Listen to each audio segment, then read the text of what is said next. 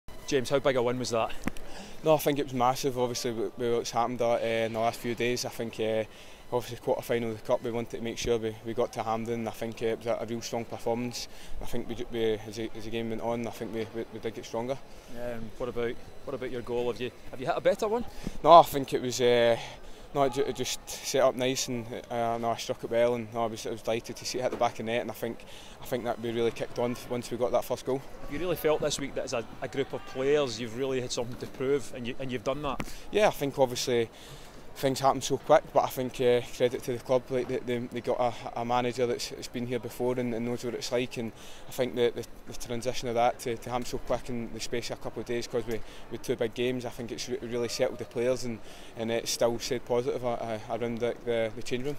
Yeah, and a, and a manager that a lot of you are familiar with. You've played under Neil many times, so that, that continuity and not to have a stranger there must have helped. Yeah, I think uh, quite a few of the boys have, have obviously worked under him before and, and knows what he asked for. And and even even the players that haven't, like they've played against his teams and, and know he's, he's attacking and it's always hard to eh, hard to play against. So uh, no, I think uh, the last couple of days, the performances and the, the victories is, uh, is shows like real character in the squad.